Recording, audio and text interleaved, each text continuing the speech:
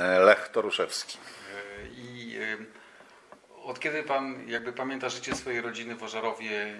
Tak. Znaczy, jeżeli chodzi o Żarów, to ja jestem pierwszym pokoleniem także mojej, mojej rodziny i tak 89 rok, koniec lat 80. Zacząłem pracę i, i tak się w to środowisko, że się tak wyrażę, wkręciłem. Troszkę zacząłem działać, no i pracuję po dzień dzisiejszy. E, w, w, w Ożarowie zacząłem pracę w 89 roku w spółdzielni mieszkaniowej Ożarów. Przeprowadziłem się z całą rodziną w roku 92, także stosunkowo niedługo jeszcze, jeżeli chodzi o jakieś tam sprawy historyczne.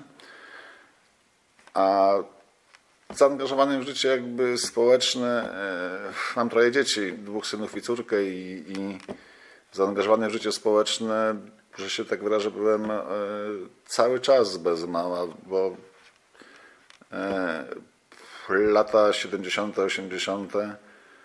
była tylko budowa, później się o tych osiedlach zapominało, to było po prostu tylko blokowisko i próbowaliśmy to zmienić. Dzieci zaczęły rosnąć, zapisałem ich do klubu sportowego i tutaj zaczęła się jakby powolutku działalność w klubie sportowym Ożarowianka. Tak to mniej więcej wyglądało, jeżeli chodzi, jeżeli chodzi o, o moje życie w Ożarowie. W 2000 roku zapisałem dzie dzieci do klubu sportowego i tam trochę przyglądałem, trochę z trenerami. Trochę próbowaliśmy ten klub zmienić, bo tam praktycznie nie było, nie było wiele. Był jakiś tam baraczek, w którym się przebierali ludzie plus sędzia. Było takie jak koryto żeliwne, krany na, na, na róże i tam się musieli przebrać. Może troszkę też do tego sportu kiedyś inaczej ludzie podchodzili i, i tam wspólnymi siłami w rozmowach z burmistrzem, z e, radnymi udało się ten budynek postawić. Nie jest może on taki najwspanial- najwspanialszy, najfajniejszy, ale e, funkcjonuje po dzień dzisiejszy. Była cywilizacja. W tamtym czasie to był pewnie 90 drugi, czwartym roku pewnie był oddany ten budynek, to już było coś. I powolutku,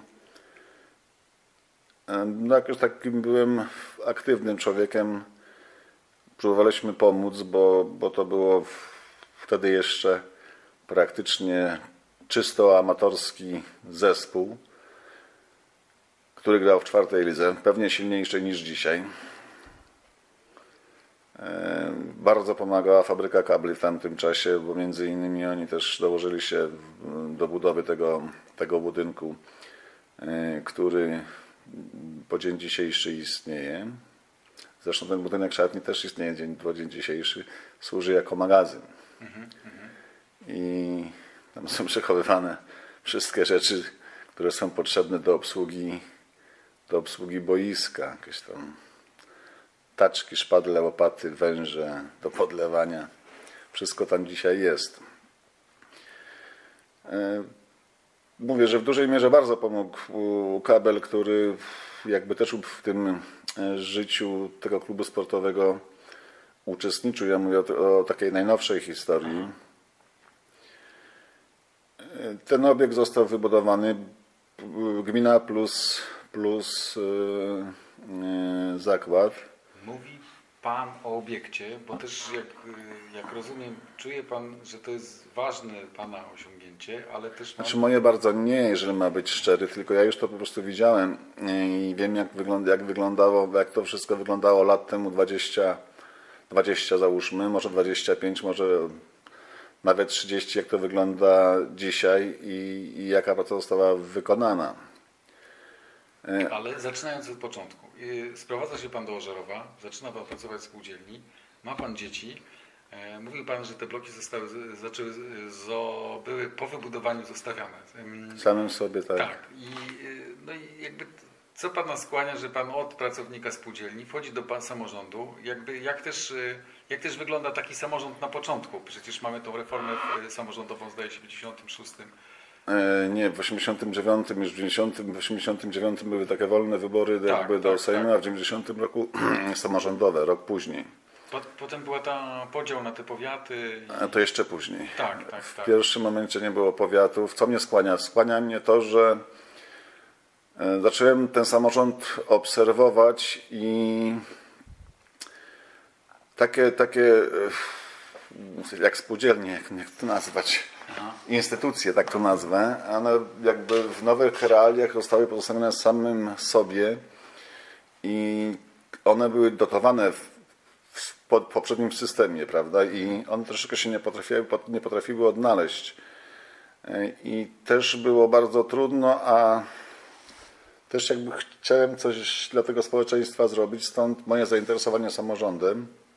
I pierwsza kadencja, wiadomo, ilość radnych 24 okręgi w zależności od liczebności, nie obszarowo, tylko, tylko i pierwsza kadencja e, tej, w, ty- w tej rzeczywistości po, po zmianie systemu to polegała bardziej na tym, żeby stworzyć struktury w ogóle, czyli tworzyć prawo lokalne. A jak to wyglądało wcześniej, jak ci ludzie czuli się pozostawieni samym sobie? To znaczy, czego nie było, co działało nie tak? Jak gdyby pan miał to opisać. Chodziło się do urzędu, chciało się załatwić sprawę.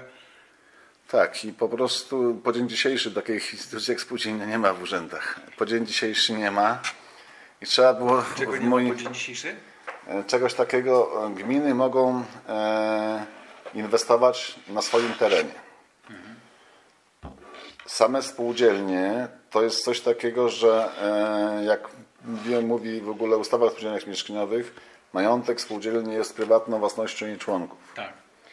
I tutaj społeczeństwo, które płaci podatki, pracując oczywiście tak jak wszyscy inni od nieruchomości i tak dalej, w zamian nie miało nic. I trzeba było wypracować takie relacje e, gmina, spółdzielnia, żeby coś temu społeczeństwu też się należało. I to było dość trudne, bo teraz przeszliśmy tak płynnie do, do, do innego tematu. Żarów gmina, która leży 15 km w linii prostej placu bankowego. Woda była właśnie w spółdzielni, woda była przy- w zakładach pracy, miejska tak zwana. Woda. Wodociągi, woda. Aha. Takich jak kabel, takich jak huta i te osiedla przy, przy, przy takie jak e, Polmos Józefów. Pozostali mieszkańcy nawet tego nie mieli i próbując, no nie oszukujmy się, wywalczyć coś dla społeczności spółdzielczej, odbijaliśmy się troszkę od ściany. Przede wszystkim nie było szkół. Tutaj obok, y, gdzie jesteśmy, dzieci uczyły się na dwie zmiany. Pomimo wszystko y, gmina się rozrastała, mieszkańców przybywało, a infrastruktura zatrzymała się w latach 70. Dróg utwardzonych na osiedlu załóżmy Mickiewicza trzy, w Józefowie w Połocinie dwie, na Ziętarówce jedna. Wodociągów, kanalizacji można powiedzieć osiedla domków jednorodzinnych nie miały, Ziętarówka nie miała, Mickiewicza osiedle nie miało. Osiedle ołtarzew bardzo rozległe nie, osiedle Pochocin Północny, Pochocin Południowy nie. Józefów, który był blisko i te stare budynki Polmosu, coś tam miało. Wolica problem jest z prawem. I oczywiście z pieniędzmi. z pieniędzmi. Z pieniędzmi i z prawem.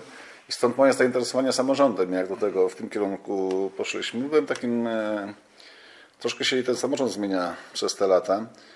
E, Rada Miejska tworzy komisję, tak zwana komisja stałe spośród siebie, które tam się dzielą jakimiś obowiązkami. Jest komisja obywatelska, to jest oświata, prawda? Komisja gospodarcza, tutaj takie różne rzeczy. I tutaj byłem tak, i kiedyś komisje były jakby składały się od 9 do 11 osób, z tym, że przewaga w komisji musiała być radnych. Załóżmy, jeżeli komisja liczyła sze- 11 osób, to 6 było radnych, 5 osób spoza, spoza komisji i coś tam próbowaliśmy. Ja byłem takim członkiem spoza, spoza rady w komisji. I próbowałem właśnie jakoś przekonać społeczeństwo do, do tej mieszkańców spółdzielni, co nie było łatwe, bo moje potrzeby były nie tylko, nie tylko e, radnych, ale również i zarząd szeroko rozumiany gminny, żeby jakieś tam pieniążki się znalazły również dla mieszkańców spółdzielni, którzy są pełnoprawnymi obywatelami tego miasta, ale to co powiedziałem, w pierwszej kolejności oświata. Dwie szkoły, tu gdzie w której jesteśmy, szkolna w Ożarowie, w tej chwili w Pochocinie, bo jak mówiłem wcześniej, dzieci uczyły się na dwie zmiany tutaj, tam, tam również. W starym budynku szkoły w Józefowie uczyły się na dwie zmiany. To zostało zrealizowane. Później przyszedł czas woda, kanalizacja. Ale mówi Pan o tym, że nie mieliście prawa specjalnie dobrego po 1989 roku i że, że jakoś żeście musieli to sobie układać. I... A Trzeba było, znaczy prawo, prawo było też, no to się wszystko rodziło w bólach, nie? I to prawo też nie było niedoskonałe i tutaj trzeba było sobie wewnętrznie, czyli począwszy od statutu, regulaminów i po kolei e, poukładać, e, pozmieniać, e, to stworzyć w ogóle, bo tutaj nie było, był jakiś ogólny zarys, a resztę trzeba było wykonać. I te pierwsze kadencje, pierwsza w ogóle kadencja, tam się przede wszystkim skupiła, bo to był jakiś tam podział profesor Kuleszek, którego zresztą bardzo cenię, fajnie to rozpisał, że, że pieniądze, mieszkańcy gminy, mówię ogólnie gminy, zaczęli o sobie decydować. Poprzez właśnie wybór radnego, który był pod ręką, poprzez wybór burmistrza, wtedy jeszcze Rada wybierała burmistrza i, za, i cały zarząd pięcioosobowy, miała realny wpływ na to i, i, i pierwsza kadencja, tak jak już powtórzę, była do ułożenia przepisów lokalnych, czyli na podstawie ordynacji wyborczej, to się nazywała no, ordynacja wyborcza, gdzie był zarys, resztę trzeba było zrobić, to też nie było łatwe. Żeby to, żeby to, żeby to, żeby tutaj e, zrobić lepiej niż to, niż to zrobił ustawodawca, bo ustawodawca nakreślił jakieś kierunki. Wy mogliście to dookreślać. Dookreślać, tak. Nie myliliście się? Jak wszyscy. Niestety to, Ale to jak? to się wszystko rodzi. to się wszystko rodzi, rodzi yy, w bólach, chociażby u mnie, jak ja powtarzam, zawsze życie jest bardziej, b- zawsze bogatsze od, od przepisów i nawet yy, regulamin prowadzenia rady, prawda? Ktoś wstaje, no dobrze mówi, ale tutaj jest źle.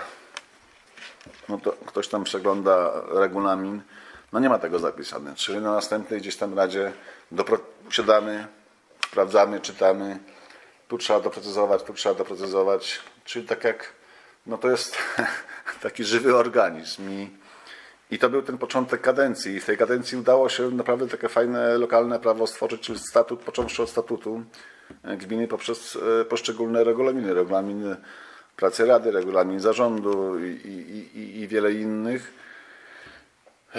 Co jeszcze się stało po zmianie systemu, ustroju? Stało się coś takiego, że w gminach pojawiły się pieniądze. Nikt nam e, jakby nie narzucał z góry, że słuchaj, masz zrobić tą drogę, a nie tamto, chociaż ona jest mało ważna, tak? Prowadzić donikąd. Tutaj decydowaliśmy już sami. Albo wsiadaliśmy jakieś auto, jeździliśmy po gminie, dróg nie było, ale tu jest tylu i tylu mieszkańców, tu jest taki i taki ruch. Dobrze, robimy tą drogę, ale nie, może inaczej. Każdy z nas, a wtedy nas było dwa- 20, 20, 24 osoby w Radzie, jakby był z jakiegoś rejonu. I każdy próbował na swoją stronę to szale, szale przechylić, jak najwięcej z tego budżetu uczknąć, ale gdzieś tam sobie usiedliśmy. Yy, Nie było łatwo, bo jak, mówię, każdy coś tam u siebie chciał zrobić. Oświata w pierwszej kolejności, jak jesteśmy przy samorządzie, czyli dwie szkoły, kanalizację, wodociągi. I też było ustalone. I jakaś konsekwencja w tym wszystkim było, mimo takich e, no, trudnych, trudnych spraw, bo dlaczego akurat w pierwszej kolejności osiedle Mickiewicza, a nie Ziętarówka? I też były dyskusje, dyskusje dość e, e, trudne, ale jakoś potrafiliśmy się e, dogadać i ustaliliśmy jakąś kolejność, że w pierwszej kolejności Mickiewicza, Zięterówka, oba pochodzimy, Ołtarzew, który był osiedlem obszarowo dużym, a jeszcze w miarę luźno zabudowanym w tamtym czasie. A W latach 90. na początku. w latach 90. I konsekwentnie zaczęło to być robione. Po wykopaniu były takie ciekawe historie, że e, robiąc ulicę Żarowską, u nas w ogóle na terenie gminy jest dość trudny teren. Jest, są dobre ziemie, dobrej klasy, i, ale dość płytko jest glina. Tak. I jak to się przekopie wszystko, to to się robi, robi się ciekawie po prostu. Także nie dość, że błoto, to jeszcze ślisko i najbardziej jak popada. I było, było takie, były takie historie, że wchodził człowiek chyba specjalnie w gumofilcach, się ulicą, bo, bo nie robimy, prawda? Się przeszedł tą ulicą, przestawił sekretarkę w drzwiach, bo go do burmistrza nie, nie chciała wpuścić. Te buty sobie obstrzepał, to pewnie trzeba będzie wyciąć. Ale mówię, jak mi kurwa tej drogi nie zrobicie, to będę u was co tydzień. No. Cytuję, także tego typu, tego typu historie także łatwo nie było. E, Sami mieszkańcy. No dzisiaj to zupełnie inaczej wygląda. No jest to 25 lat, 6 już za chwilę będzie po zmianach, minęło 6. Po zmianach widać efekt pracy i, i te gminy nie tylko, nie tylko nasza, bo jeżdżąc po Polsce one się zmieniają. One po prostu pięknieją. Dlatego, że o tych właśnie pieniążkach, które zbieramy z podatków, czy w sumie naszych pieniążkach, tutaj decydujemy. I one są w miarę sensownie wydawane, bo podejmując złe decyzje, to ja mam sąsiada, którego znam, on przychodzi, mówiąc, ty stary, no kurczę, coście zrobili to i tamto, mówi, to jest bez sensu Kiedy całkowicie. zaczynają się orientować, że ludzie jakby nie tacy z pierwszego rzutu, po, którzy jakby zajęli się samorządem, tylko ludzie, którzy po prostu to biernie obserwują. Nagle zaczęli mieć poczucie, że coś się tutaj dzieje za ich e, za ich powiedzmy z jakąś tam zgodą albo powiedzmy przyzwoleniem. Czy zmieniło się to? E, To znaczy, ja myślę, że na początku, e, po samych zmianach, e, ludziom nie wolno było w ogóle mówić, prawda? Oni otrzym, jeden drugiego się bał. Mieliśmy taki system, jaki mieliśmy, że no, nie daj Boże, tam, no mieliśmy taki system no, donosicielstwa. Dlatego nas na przykład dzisiaj, jak policja apeluje, żeby z nimi współpracować, nam jest ciężko, bo my się całe życie, ktoś kto donosił, to był konfidentem, tak? Także i na początku było tak, że wolno im było bezkarnie, można powiedzieć. Tak krzy- krzyknął głośniej, to przyjechało MO, go zwinęło i nawet może nie, nie karali, dostał w pierdziel i był cicho, tak? A później no raptem wolno, nie? To o byle bzdury tam, co, co by człowiek tam nie wymyślił, to, by, to, to o, krzyczeli, bo przychodzili dość, dość licznie, bo im się należy już teraz, bo im, bo, bo musicie zrobić, no nie, no tak, tak to nie działało, bo trzeba było przyjąć jakoś, jakiś kierunek, kierunek działania i, i w ten sposób y, pracować, bo, bo tak trzeba było. A później jak się zorientowali, że to idzie w miarę, w miarę w dobrym kierunku, że jednak tak, powiedzieli, że zrobią szkołę, zrobili, tak. Powiedzieli, że zrobią drugą szkołę, zrobili. Powiedzieli, że zrobią kanalizację, wodę, zrobili. I jakoś tak to się uspokoiło, w miarę czekali. Dzisiaj zaczyna być coś takiego, że społeczeństwo, no takie, mm, już ci młodsi ludzie z dostępem do mediów, do, do, do elektroniki, do, do, do, do techniki, e, nie wychodząc z domu, zada- zadają bardzo dużo pytań dotyczących najczęściej ich, e, ich terenu i e, ludzie są też chyba bardziej wykształceni. Mm, Te pytania są, chyba, tylko na pewno są bardziej wykształceni. Te pytania są podparte już cięż, tym bardziej trudniej ich zbyć, byle czym. A się odpisało tam coś i, i było ok.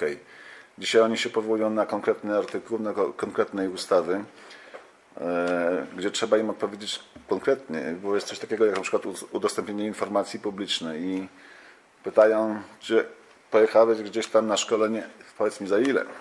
I tutaj do tego, tego typu e, też mają inne problemy. Takie bardziej może już mają problemy więcej duchowe, więcej coś dla ducha, dla ciała, dla... dla Tak pan postrzega tą tak to postrzegam. I, i, I gdzie w tym wszystkim gmina? E, Gdzie w tym wszystkim Tak, gmina? tak. W tym wszystkim gmina jest, y, ja może wrócę na chwilę do swojego osiedla, ja już mogę zaproponować młodym mieszkańcom boisko, które było wywalczone nawet wewnętrznie. Mieliśmy problemy ze sztucznej nawierzchni do piłki nożnej, do tenisa ziemnego i do koszykówki albo siatkówki, jak to tam woli, prawda? Mogę im zaproponować- drugie boisko zrobione w tym roku z poliprzypolenem, czyli z plastiku, prawda? E, Ogrodzone, gdzie jest czynne oświetlone. Oni w tej chwili prze- przejeżdżają, grają, także mimo, że pada deszcz. Gdzie kiedyś tego nie mogłem zaproponować. Mogłem zaproponować plac zabaw ze sztucznej, z, z takimi strefami bezpie, bezpiecznymi, czyli e, w zależności od, e, tak zwana strefa upadku, w zależności od wysokości urządzenia jest odpowiednia warstwa nawierzchni amortyzującej, gdzie tego nie było. Kiedyś tego nie mogłem im zaproponować, z tym, że też kiedyś mnie pytali.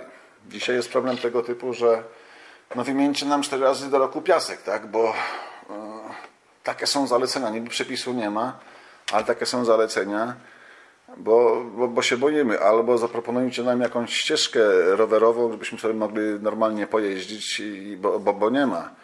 E, lat temu 20, zróbcie nam tą drogę chociaż. Nikt nie myślał o ścieżce rowerowej. Utwardźcie nam, bo jak się wożyło żużel, to latem się kurzyło, e, dzisiaj pada, to, to się szło po kostki w błocie. Inne problemy. Coś zostało zrobione, inne problemy się pojawiły, bardziej może, no nie wiem, zróbcie nam fontannę, bo chcemy, tak? Zróbcie nam żłobek, gdzie jakieś tam powstał może za mało. Do przedszkola najlepiej by było czynne do 22, bo, bo tak zaczynamy pracować. E, I to są wymagania świadomych, y, świadomych swoich podatków mieszkańców. Tak. Trudno im mieć to za jakby przeciw, ale też jesteście w latach 90., no i to pytanie do Pana. Y, Pojawia, pojawiają się samorządowcy i teraz poczucie, że nie jesteście zmęczeni, są nowi. Y, To jest wciąż, można powiedzieć, ta sama ekipa z niewielkimi zmianami, albo z tym, że raz jedni, raz drudzy. Jak to wygląda po stronie działaczy? To znaczy, jak to wygląda po stronie działaczy, przede wszystkim trzeba za tym zdążyć, tak? E, I różnie to bywa. Rady, jak ja pamiętam, zmieniają się tak mniej więcej w- od 50, od, może inaczej, od 30 do 50%. Połowa ludzi jakby zostaje z poprzedniej kadencji. Przechodzi tam z automatu. Może nie powiedziałem z automatu, po prostu wygrywa te wybory. E, Wygrywa te wybory. E, Wchodzą nowi ludzie, którzy też tego samorządu się muszą nauczyć. E, Jest jakaś grupa ludzi, że wszystko mogą. Pójdę do burmistrza, każę mu tę drogę zrobić i, i, i on ma mi ją zrobić, tak? Bo tak chcą moi mieszkańcy. Nie. Jest jeszcze sesja, gdzie musisz mieć tak zwaną większość i są ludzie, którzy się tego uczą i próbują coś zrobić. E, choć Ciężko mi określić. Naprawdę to jest przekrój. Są ludzie, którzy to, że on jest radnym, to już jest fajnie, bo, on- bo on tak się czuje e, jakby Podniesione. Tak podniesiony i, i nie wszyscy muszą, lubią jak się im pisze, czy, czy wymagają inżynier przed nazwiskiem albo inżynier magister, a są ludzie, którzy bez tego absolutnie ani rusz. Także tak jest i w radach. To jest naprawdę spory przekrój ludzi od e, naprawdę bardzo duży. I są ludzie e, z wysokim wykształceniem, z którymi ja nie chciałbym współpracować, bo, bo dla mnie nieżyciowi właśnie i, i tak dalej. A są ludzie bez wykształcenia Ale i którzy są mądrzy życiowo, nie? I to, i to, no i to zwyczajnie się musimy, musimy się dogadać tym wszystkim i, i A bardzo się zmienił skład osobowy tego środowiska samorządowego w stosunku do lat 90. przez te 20 parę lat. to znaczy Pan tak, jest, można powiedzieć, od początku. znaczy nie, ja jestem radnym, jestem od 98 roku, od 94 roku jakby Tak. troszeczkę próbuję e, działać w samorządzie. Czy skład się zmienił? Nie. Naprawdę jest duży przekrój, to różnie, nie wiem od czego zależy. Na przykład była kadencja, że nie było żadnego nauczyciela, gdzie przez kilka kadencji to było niewyobrażalne, tak? E, To środowisko zawsze startowało i, i, i było. A było, była taka kadencja, że nie było żadnego nauczyciela. E, Także trudno mi jakoś powiedzieć, od czego to, to, to wszystko zależy, ale, ale jeżeli chodzi o skład e, osobowy, nie. Generalnie rzecz biorąc, jeżeli tak ogólnie byśmy to przyjęli, nie. E, Zawsze jest ktoś, kto no, jest bardziej inteligentny, kto jest bardziej może dociekliwy, kto, kto może bardziej się są przykłada. No, są są naprawdę różni. Czyli Są naprawdę. też nowi, można powiedzieć, inni odchodzą. Tak, przychodzą nowi cały czas. Nie ma takiej kadencji, żeby wszyscy, cała kadencja, ca, wszyscy, cały skład osobowy przeszedł. Także wymienia się minimum 30%. Wymienia się minimum, minimum 30%, 30%. W tej chwili jest chyba e, 8, o 8 radnych jest z poprzedniej kadencji, a 13 jest nowych, także u nas 21-osobowy skład e, rady. Różnie, no mówię, poprzednia kadencja, bo trochę nam się zmieniło, bo to też Skład rady, ilość, liczebność zależy od ilości mieszkańców. My w poprzedniej kadencji pewnie mieliśmy 20 tysięcy, ale zameldowanych mieliśmy poniżej 20 tysięcy i rada liczyła 15 osób. W tej kadencji 21. E, Kadencja 98, e, 9, od 90 roku do, 90, do 2002 e, przy mniejszej ilości e, osób zamieszkałych liczyła 24 osoby. Później troszeczkę nastąpiła reforma i przy tej samej ilości mieszkańców było 15 radnych. E, Teraz jest 21 w tej kadencji 2014-2018. No nie wiem. e, Teraz mamy kobiet niewiele. W poprzedniej kadencji na 15 radnych było 10 kobiet, 5 mężczyzn. Także tutaj ciężko jakby określić jakiś schemat, bo tego, tych schematów nie ma. E, Są ludzie, którzy na przykład pracował zawodowo, mm, raptem poszedł na emeryturę, nie ma co robić, wystartuje. Sporo wnoszą, bo mówimy, że świat y, tylko i wyłącznie młodzi tworzą. Nie, nieprawda. Znam osoby, które na emeryturze, będąc na emeryturze, próbują to swoje środowisko rozkręcić jakoś, tak, są aktywni bardzo. Może to wynika, że mają więcej czasu i tak dalej, ale coś spróbują tworzyć, nie? Są młodzi ludzie, którzy jestem, bo jestem, dobra, byłem tym radnym, może przez przypadek, może, może tak. Na sesji jestem, na komisji jestem, nic mnie nie interesuje, odbębniłem. Nie ma schematu, ja bynajmniej nie potrafię jakoś tego wszystkiego jakby określić. To wracamy do lat 90. Jest ta y, reforma Kuleszy. y, Też wydaje się, że pieniędzy będzie więcej w samorządzie. Zaczyna się powiat, ale też y, w Ożerowie pada huta, pada kabel. Jak to też wpływa na samorządów? To znaczy tak, może huta pada faktycznie, tam jakby z winą, winą zarządu, bo chyba w moim odczuciu, już daw, trochę minęło, sam zarząd jakby dążył do tego, żeby ta huta upadła. Nie wiem, czy w celu przejęcia, czy... czy yy, i, I oni mieli pomoc, yy, jakby z niej nie skorzystali. Pamiętam taki okres, że Urząd Skarbowy, ZUS, bo to są przede wszystkim te dwie instytucje plus gmina e, i zarząd huty siadł, doszli do wniosku, pomóżmy, pracują mieszkańcy, trochę zredukujmy i te długi zostały umorzone. Huta miała szansę, z której, której nie wykorzystała. Kabel nie upadł. Kabel został zlikwidowany. To jest zdecydowanie różnica. Cupiał, tak? I E, tak. E, kabel nam zhandlowała SLD. to opowie przez Także- tej rozległości. E, Dlaczego? Dlatego, że, a teraz muszę sobie sięgnąć pamięcią do lat. AWS, to trzeba byłoby sprawdzić. AWS, później AWS nie wytrzymał. Czyli Chwilę PiS, czyli rok byłby 94. No dobrze, załóżmy, że czwarty, ale to trzeba byłoby poprzeć jeszcze, żeby, była, żeby było prawdziwość faktami, bo mogę nie pamiętać do końca.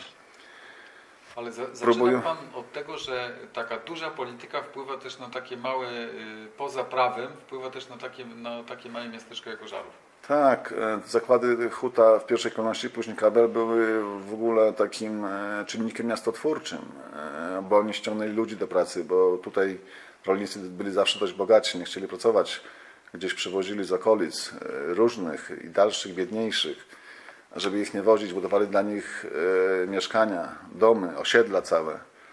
I, i, to, I to się stało właśnie takim czynnikiem miastotwórczym. I wracając jeszcze na chwilę do kabla, e, bo mówiliśmy o, o upadku, a tutaj musimy No tak, i zaczął Pan wrócić. liczyć właśnie duże partie polityczne, AWS, PiS, y, Ja tak spróbowałem, kto rządził po prostu w tamtym czasie, nie? Bo SLD w, bodajże w 1994 roku po rozwiązaniu w ogóle Sejmu przez prezydentury, muszę sobie policzyć tylko od tyłu, Lechu, dwie kadencje Kwaśniewski, 94, 98, 2002. W 2002 nam to zamknięto. Kabel, czy w 94 roku, może 6. Yy, Dochodzi do władzy SLD po wyborach po prostu parlamentarnych. Tak. Nie? I, I niejaki pan Kaczmarek Wiesław, który był ministrem, to ministerstwo też się zmienia, infrastruktury i gospodarki albo gospodarki. I jakby postanowił sprywatyzować yy, ten zakład. Może i czwarty. A to już mnie trzeba było sprawdzić. I jak postanowił to sprywatyzować, to też wystąpili pracownicy z 90 bodajże hurtowniami dużymi w kraju, że chcą ten zakład jakby wykupić, prawda? No to wiadomo, że trzeba było za Coś tak? w tym stylu, taka spółka duża. Ale nie pozwolono, miał być tak zwany y, partner strategiczny. I wtedy Elektrim to przejął zarządzanie tym, tym zakładem. Zakład miał tyle szczęście, że miał taką nową linię, tak zwaną francuską halę. Y, Oddano w 1989 roku, tuż przed y, zmianami ustroju, gdzie były nowe maszyny, y, fajna technologia, nowoczesna, gdzie był duży rynek zbytu. I on się bronił. On się zwyczajnie bronił konkurencyjnie z panem Cupiałem, bo Cupił sobie w Myślenicach to zrobił. I, I postanowiono to po prostu zlikwidować. I, i Elektrym przez 4 lata bodajże nie potrafił. To będzie 98, druga kadencja. Tak, 98 rok już. Do, do 2002 roku nie potrafił e, jakby tego zakładu doprowadzić do upadłości. Dobra załoga, przeszkolona, czasami pracująca pokoleniowo w tym zakładzie. Nowoczesny zakład na tamten, na tamten czas. Nowe maszyny, trzymana jakość. I on się bronił. Co było nieszczęściem kabla? Akcje dla pracowników, pakiet większościowy Elektrim, żeby mógł rządzić. Cupia zaczął to wykupywać, dał fajną cenę. Bo jeżeli ktoś dostaje za 100 zł towar, a proponuje mu się ileś tam tego towaru, proponuje mu się 300 albo 500 i wykupując te udziały, część od Elektrymu, część od... Yy, stał się takim większościowym udziałowcem i postanowił ten zakład zamknąć Żeby zlikwidować konkurencję. żeby zlikwidować konkurencję. I sprzeciwił się temu e, Urząd Ochrony Konkurencji i Konsumentów, gdzie on tam założył, jakieś sprawy się toczyły na szczeblu najwyższym, E, ale to trwało około dwóch lat i no, los chciał, że ponownie e, po wyborach parlamentarnych do władzy, bo Miller został po raz drugi premierem, doszło SLD. W koalicji z PSL-em, e, tam z jakimiś, ale doszło. I ten sam Kaczmarek, który zaczął pr- prywatyzację kabla w 1992 roku, w 2002, albo nawet pierwszym, od drugiego to już był strajk, e, w 2001 roku we wrześniu wymienił dwóch dyrektorów e, decyzyjnych w UKIK-u. E, I po prostu Cupiał wycofał, żeby to nie ciągnęło wszystkie sprawy sądowe. Dostał jakby pozwolenie, bodajże w listopadzie. W lutym zamknął, zwolnił załogę i był tam, no, oni 9 miesięcy stali pod bramą. Ci pracownicy e, kabla, właśnie broniąc swoich miejsc pracy. No niestety, skończyło to się jak się skończyło. Jak się Pozwolenia pacyfikacją. Najpierw y, jakby mm, telefonika wynajęła e, Zak- fir, firmę Cupiała. ochro- tak, firma Cupiała. Firmę ochroniarską, która sobie nie poradziła przy wsparciu naszej dzielnej straży z pacyfikacją tego strajku. W tamtym czasie no, pracownicy mieli wszelkie pozwolenia, bo na terenie drogi gminnej na wszelkiego rodzaju manifestacje, a ten odcinek od ulicy Poznańskiej do Bramy był drogą gminną. To wydawał burmistrz. I burmistrz, oni występowali, burmistrz im te pozwolenia wydawał, także troszkę nielegalnie weszli, no ale mieli poparcie ów- ówczesnych władz. I firma ochroniarska nieźle uzbrojona e, sobie nie poradziła, mówię przy wsparciu naszej straży ochotniczej, bo oni po prostu podjechali wozami bojowymi i odpalili, no, mówiąc nieładnie, sikawki, czyli pompy. Trochę ich tam zmoczyli. Było chłodno, bo to był listopad. I na początku jakby odbili tą bramę, ale później się wycofali. No i co? Policja. Policja to było pewnie na 300 strajkujących z półtora tysiąca policjantów. Także Czyli to już nie była sprawa lokalna, gminna, jeśli chodzi o... no już nie była sprawa Ale jeśli lokalna. chodzi o SP, to była sprawa lokalna. Lokalna jak najbardziej. Czyli poniekąd nie, nie, nie był to jeden front burmistrza i administracji i straży. E, Tak, tylko nie mogliśmy się dogadać z, z, z ówczesnym rządem, bo to były decyzje na szczeblu już rządowym, począwszy od premiera poprzez swoich urzędników, czy ministra skarbu. Czy oni na Was jakoś wpływali na, na gminę, na administrację? To znaczy nie, gmina twardo e, z pracownikami.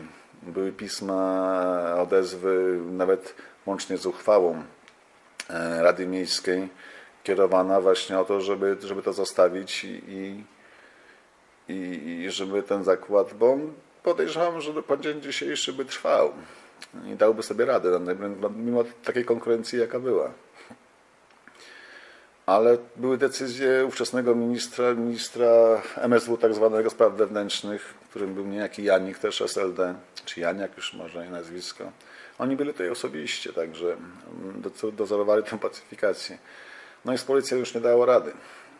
No i no co, przesunęli strajkujących, zrobili szpaler. No jak oni robią, bo to tarcze, dwóch trzyma, trzeci ich spina, prawda? Także i, i próby, próby odbicia tam to się kończyły różnie, łącznie z jakimiś tam hospitalizacją niektórych pracowników, no bo ja tam też uczestniczyłem e, w tej akcji, tam wspieraliśmy ich e, wczesnym rankiem o czwartej. Zresztą to było takie trochę propagandy, że pozamykali ulice, oczywiście, że strajkujący zablokowali ulicę Poznańską, wtedy jeszcze bez autostrady, także to cały ten ruch w kierunku zachodnim tędy przejeżdżał, co było nieprawdą, bo oni to pozamykali. Zamknęli na Światowych Broniszach i kierowali tam przez e, Piotrkówek, tutaj Sochaczewską i zamknęli przy Ceramicznej.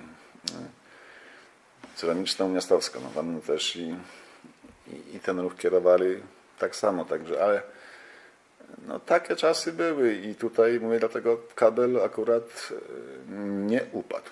Tutaj musimy to rozgraniczyć. Huta jak najbardziej upadła, kabel został no, zgodnie z prawem czy decyzjami ówczesnych władz zamknięty, zlikwidowany.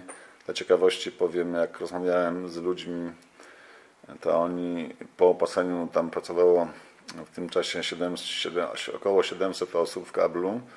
I takie firmy towarzyszące pewnie z 600 osób, sprzątające, ochrona i tak dalej. E, to pomimo tych, tych, tych to oni zero zadłużeń wobec Skarbu Państwa, czyli ZUS-u, e, to mieli wypracowany jeszcze około 80 milionowy zysk w momencie zamknięcia.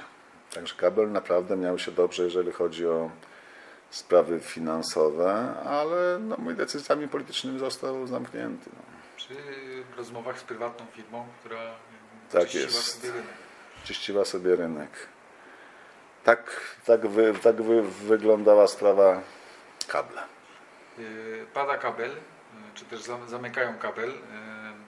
Ja pamiętam to z Żerowa, wtedy tu jest taka kawiarnia, apteka. Już nie ma. I dziewczyna mówi, że oni zlikwidowali ją, był słaby moment, bo upadł kabel, bo ludzie nie mieli pieniędzy. Y, jak pan to widzi wtedy? Mniej podatków w gminie, jak, jak nastroje? To znaczy w gminie akurat e, nastroje były takie troszeczkę, ci ludzie też byli nieźle zarabiani. Część osób dostała propozycję do Krakowa, do Myślenic, do pracy i z tego skorzystała. Ci ludzie też dostali pewne odprawy, takie całkiem niemałe.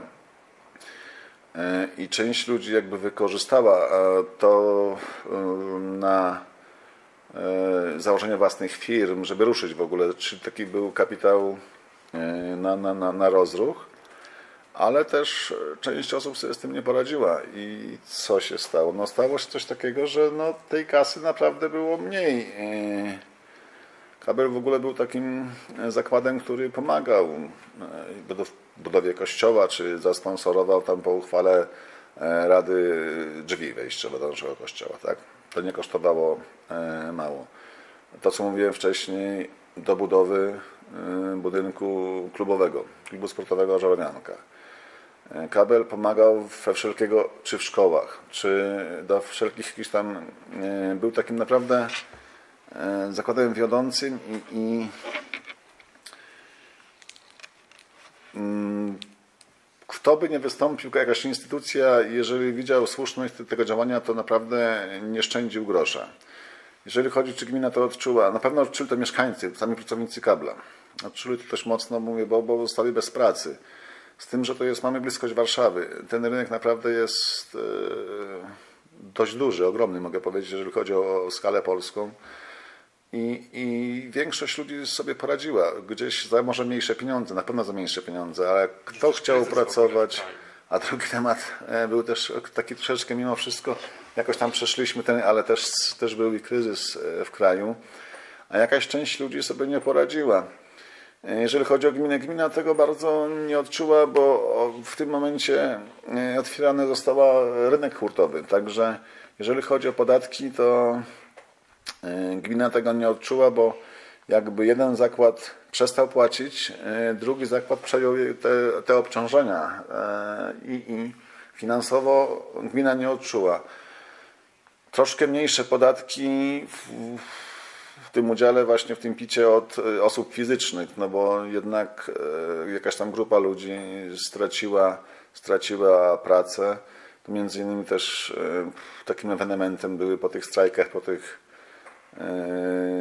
po tym działaniu, że na terenie kabla powstała specjalna strefa ekonomiczna E, i tutaj, żeby też się zainstalowały bardzo szybko, to są konkretne zwolnienia z podatków, bardzo szybko się zainstalowały różne firmy, także on tak jakby nie został zrównany z ziemią. Dla ciekawości jeszcze powiem, tam obok przedszkola była szkoła podstawowa. Ledwie się udało uratować, uratować ten teren z obecnym przedszkolem, bo oni to rozebrali w ciągu dwóch dni, tą szkołę. Całą, Całą szkołę, taką. taką murowaną szkołę rozebrali właśnie, bo chodziło o teren, bo mimo tego, że chcieli to sprzedać, ale to była oświata, cel publiczny, nie? I nie zdążyli przedszkola i tego terenu. I to się jeszcze udało w tamtym czasie prze- poprzez interwencję właśnie zarządu, bu- burmistrzów w, tym, w tamtym czasie. No były wycieczki, były wycieczki do wszystkich tam możliwych, e, tak już na chwilę do, do, do tamtych czasów jeszcze zamykania, ale rozebrali szkołę w ciągu dwóch dni, zrównali ziemią. Przyjechał konkretny sprzęt, wywieźli, moment, żeby nie było śladu. Gdzie no, naprawdę kilka osób, czy tam wręcz pokolenia w tej szkole się uczyło. Mieszkańców Kabla, to by tak była re, rejonizacja. I, I tutaj mówię, powstał rynek hurtowy. To mówię, gmina za mocno tak nie odczuła zamknięcia, zlikwidowania kabla. Tym bardziej huty, bo huta była niewypłacalna, także tak to wyglądało. No, poprzez różne ustawy gmina też musia, była zmuszona przejąć te wszystkie zasoby mieszkaniowe, jak te, na, na zasoby komunalne, jak przy hucie, gdzie budynki były jeszcze starsze niż w kablu, bo nawet z lat 20. ubiegłego wieku, nie inwestowane przez zakład od wielu lat. Także no, myślę, że czasy no, nigdy nie są łatwe, ale, ale tamte nie były łatwe. Początki nie, nie były łatwe, bo trzeba było sobie, sobie z tym poradzić i, i, i jakoś to zaczyna powolutku wyglądać w moim odczuciu, jeżeli chodzi y, o, o gminę. Tak, trochę y, zmieniając temat, przyjeżdża Pan w 89 roku do Ożarowa. Y, Ożarów w zasadzie jest, składa się z dwóch typów mieszkańców. Rolników i, y, I i, i, spó- i robotników właściwie. Tak. No i Pan jest w gruncie rzeczy obcy. Dużo jest ludzi przyjezdnych, jak, oni, jak to wszystko wygląda. I jak się teraz, tak, y, wtedy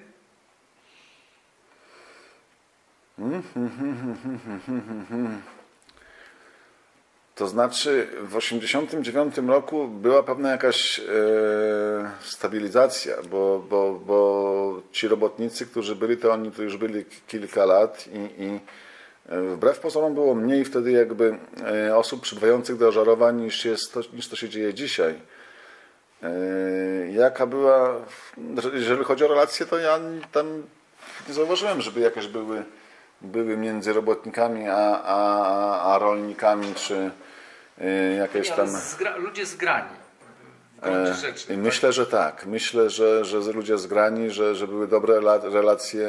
To też jest nieduża miejscowość. Ludzie, którzy się znają, prawda? Jeżeli tam komuś trzeba było pomóc, to, to, to się pomagało, prawda? Bo, bo, bo, bo miał jakiś tam problem. E, Chociaż może bardziej jeszcze wśród rolników y, było to, bo tam chyba od pokoleń, że się tak wyrażę, taka, takie trzymanie się razem niż wśród robotników. Bo tu jakoś tam troszeczkę zmiany były i, i, i też e, chociażby ja na poziomie, na, na, na przykładzie spółdzielni, no, sąsiedzi potrafili się na klatce za, za mocno nie znać, także, ale już czwarta klatka to już, już całkiem.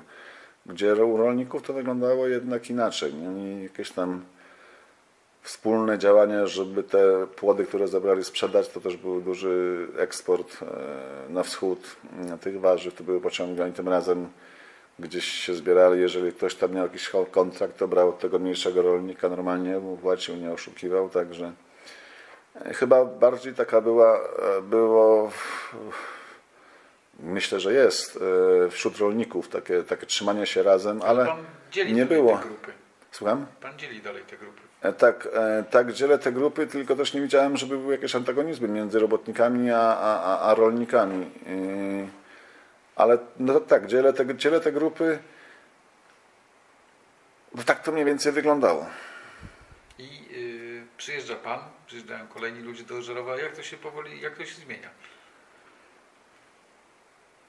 To znaczy, powiem tak, bliskość Warszawy pewnie nie jesteśmy, jeżeli chodzi o rolników, oni nie są do uratowania Podejrzewam, że jeszcze, jeszcze 50 lat ich nie będzie. E, atrakcyjność w ogóle Ożarowa, bo mamy też nieźle skomunikowane e, i pociąg, i, i, węzeł Konotopa, także na naszym terenie S8, S2, autostrada A2. E, to ma znaczenie.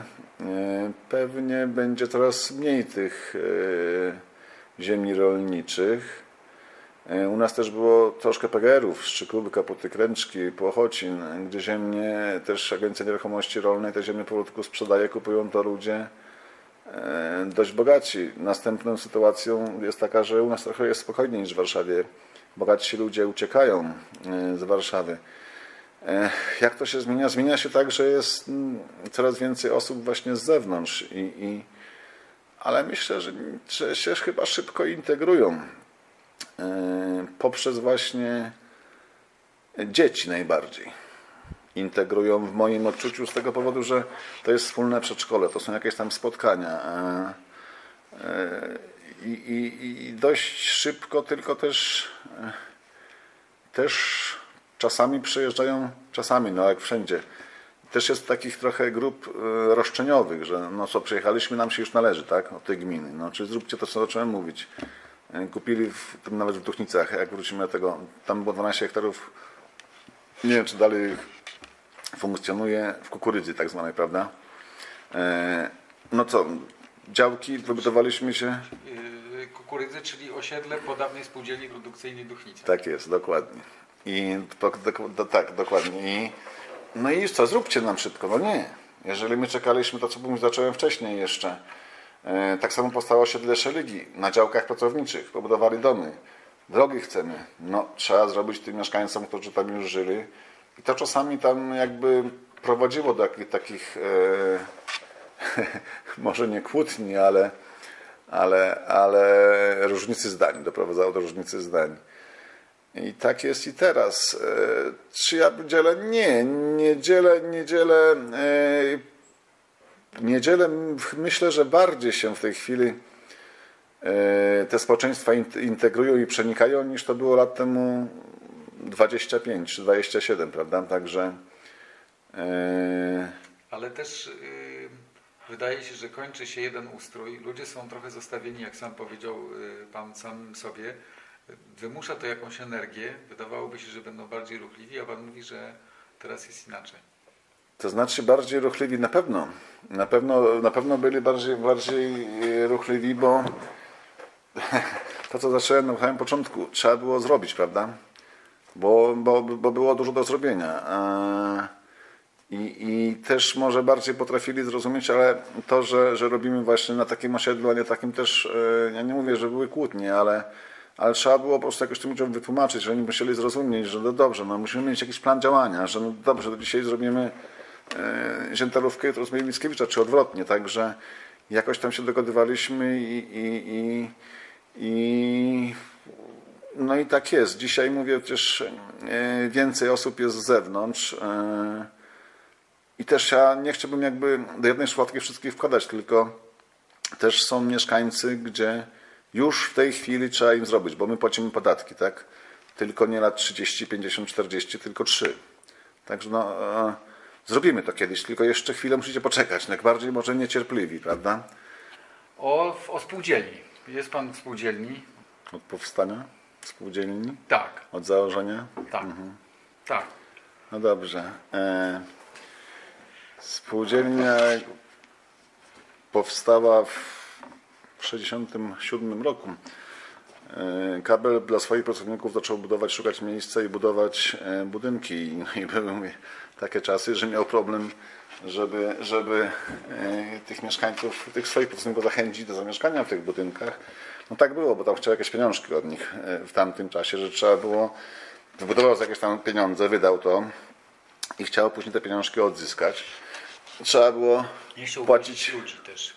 i też nie chciał tracić ludzi. I, i było, były zwyczajnie namowy w pierwszych budynkach, bo pierwszy budynek powstał w 1959 roku, następne trzy, e, jeden w 61, później dwa w 62 i od tych budynków zaczęła się spółdzielnia, gdzie w, Poznańska, w- Floriana. e, to tak, to był róg poznański, pomiędzy tak poznańską Floriana a, a Poniatowskiego obecną, e, te budynki. Tu od strony bardziej poznańskiej. I to były jeszcze budynki z piecami kaflowymi, to były ogrzewane węglem. Później powstała kotłownia. E, Kotłownia była w budynku obecnie Poznańska 288. E, Magier w tym miejscu jest w, tym, w, tym, w, tej chwili, naprzeciwko, naprzeciwko placu zabaw. A kotłownia później też na miał taka już, e, żeby w perspektywie rozbudowę przewidywano spółdzielni mieszkaniowej. W 67 najpierw powstała kotłownia, a w 68 następne dwa budynki bliżej w kierunku ulicy e, Poniatowskiego i pawilon handlowy, który do dzisiaj e, pełni funkcję między innymi jest tam apteka, Centrum Inicjatyw Społecznych i Femix, czyli taki chleb, e, sklep, przepraszam, sklep, jak to się kiedyś mówiło, żelazny, czyli z artykułami metalowymi. Tak, tak. I to, jest, to, to funkcjonuje po dzień dzisiejszy. I w 1968 roku następne dwa budynki. I tak e, co roku 69, 70, 71, 73 i ostatni budynek w tej części, o której mówimy, czyli ulica Obrońców Poniatowskiego, Poni- Poznańska i, i Floriana. 74 rok, ostatni budynek e, w tej części. Kotłownia na miał węglowy, gdzie urządzenia były takie, że jak takie mieliśmy placek, obecnie tam jest boisko i próbowaliśmy dzieciom robić lodowisko w zimie, to jak wiatr powiał ze wschodu, to było takie zapylenie, że się nie dało jeździć po prostu. Tyle było tego pyłu, bo było dość tempo. Czyli trzeba było posypywać piaskiem e, te osiedla. No i tak to wyglądało. E, Następne przeniosła się spółdzielnia za ulicę Floriana w kierunku wschodnim. Oczywiście gmina w tamtym czasie jakimiś tam dekretami czy, czy, czy, czy nakazami wywłaszczała tych rolników, e, płacąc im jakieś tam niewielkie pieniądze z ziemi. Poszły budynki od 79 do 81 następne 8 budynków. No i w tamtym czasie była taka akcja, bo też były lata 80. Pomagajmy koń, końcówka ery Gierka, pomagajmy zakładom pracy. I tam są budynki. Były budynek Pnosu ten, budynek e, Huty ten, budynek Kabla T3. Ale tak, budowany z centralnych pieniędzy państwowych, czy z e, pieniędzy kabla? to już była spółdzielnia, czyli spółdzielnia, na przykład kiedyś mieszkaniec nie mógł wziąć kredytu, no jak dzisiaj bierze na konkretne mieszkanie. W jego imieniu on podpisywał umowę prawa spółdzielnia. Budowała i ten kredyt było trzeba spłacać, tylko że e, mimo, że budowała spółdzielnia, biorąc kredyt e, na budowę te, tych, tych mieszkań, zresztą bardzo nisko oprocentowany, bo on tam miał 4% skali roku i, i to było, jak była, było w umowie, to nie było dyskusji jakieś tam, że, że się stopa procentowa zmieni. E, niby dla spółdzielców, czyli ci, którzy tam czekali z książeczkami gdzieś tam pozakładanymi, opłacanymi, tylko było hasło pomagajmy zakładom pracy. No i zakłady chętnie z tego skorzystały, czyli Huta zgłosiła się, założyła zapotrzebowanie na 50 lokali. NOS jako zakład mniejszy na 25. Kabel jako duży, duży zakład na 150. I z y, 225 mieszkań, ktoś tam jeszcze był, nie pamiętam, się zrobiło tak, że 90% mieszkań dostali niekoniecznie oczekujący na mieszkania spółdzielcy, którzy tam musiał być członkiem, wpłacić i tak dalej, tylko zakłady pracy, ale że były takie, musiał się później, ci ludzie musieli się do, do spółdzielni zapisać i tych wszystkich formalności musieli dokonać. I tak powstała spółdzielnia, a już później mówię, w latach, w 89 roku, jak ja zacząłem pracować, to te następne 100 mieszkań, czyli 4 budynki, to też był kredyt, bo jeszcze nie można było indywidualnie e, brany e, przez spółdzielnie w imieniu tych przyszłych mieszkańców, jeszcze wtedy na 4% oprocentowaniu, a już w 1992 roku, jak te budynki były wybudowane i trzecim, była tak zwana hiperinflacja, Tak. że odsetki wynosiły 116%. Było szaleństwo w skali roku.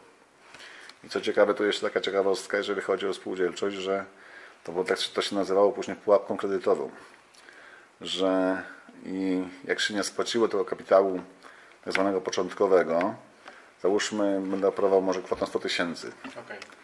Po pierwszym roku mieszkanie spłacił 20, zostało 80, tak? A powinien spłacić załóżmy 30. To dopisywało mu się, a odsetki wynosiły 116%. Czyli te 80 tysięcy podstawowego i s- i 116, czyli e, 116 tysięcy spłacił 20, zostało mu 96 z samych tylko odsetek, nie? To się sumowało. 80 tysięcy plus 96 i następny rok już był od 176. I odsetki były tam, bo ta, ta hamowała ta inflacja, na przykład już nie 116,95. I, jak, I znowu się udało jakoś tam część spłacić, ale już nie od 80 tysięcy, tylko od 176. I w następnym roku było 150 dopisane, czyli już było 300. I tak się zrobiło, że po trzech latach to e, na wolnym rynku mieszkania można było załóżmy kupić co- co 100 tysięcy, a na tych mieszkaniach właśnie wybudowanych ostatnich w tamtym czasie można powiedzieć na przełomnie e, e, to już było trzykrotnie przewyższała wartość e, Ale mieszkania były własnością spółdzielni, przy czym miały takie tak, bo kiedyś obciążenie czegoś, tak, czegoś takiego nie było jak Czyli e, przychodzi Pan do miejsca pracy, które jest totalnie zadłużone. tak, totalnie zadłużone. I totalnie zadłużone. Aha, ja przychodzę do miejsca pracy i mówię tak, e, taki czas pamiętam, że zacząłem pracę w maju, a we wrześniu taki troszeczkę większy deszcz z wichurą przyszedł, no to ja sobie gdzieś tam zachowałem taką książkę zgłoszeń. E, To było przy 500 i tam 120, 700 chyba 40 mieszkaniach było około 90 miejsc, mieszkań zalanych z przeciekami po tym deszczu. Także um, trochę się tak nie mogłem odnaleźć, bo nie bardzo wiedziałem, co tym ludziom można, jak można pomóc i, i, i co można zrobić, żeby, żeby im pomóc, ale później jakoś tak fajna była jesień. Mam taką ciekawostkę jeszcze, że tak mówię, kabel dobrze płacił, najlepiej płacił w tamtym czasie huta, zakład huta szkła i kabel i pracownicy spółdzielni byli słabi po prostu. nie? I, i jak poszedłem do prezesa, mówi, że tych dwóch, którym chciał zwolnić, bo mówi, oni psują całą robotę w ekipie, no my sam będziesz pracował. No jak dobrze, no i tak też się stało po prostu. Zatrudnienie wtedy tak dwóch emerytów na początku na umowę zlecenie. No i panowie tam grzali w beczce oczywiście, jakieś tam kamieniach ognisko palili i grzali lepik, a takim drugim młodszym człowiekiem, no łataliśmy te dachy, no jeszcze udało nam się przez ten wrzesień, październik coś tam, coś tam zrobić, a to już my jako, jako ciekawostka. jak wychodzicie z tej pułapki kredytowej? O, to już jest dłuższa historia. Z pułapki kredytowej także w 1996 roku e, było do tego doszło, że prowadziliśmy następną inwestycję w 1996 roku i tam na przykład już sami mieszkańcy e, brali kredyt jakby e, bezpośrednio podpisując umowę z bankiem. Wiadomo było, że wstępny koszt metra by kosztował tyle i tyle, prawda? Czyli budowa będzie orientacyjnie kosztowała tyle i tyle.